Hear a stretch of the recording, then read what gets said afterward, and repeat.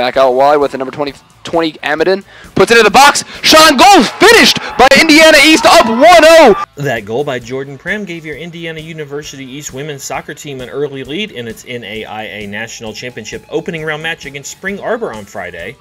The Red Wolves held the lead well into the second half before Spring Arbor rallied for a 2-1 win.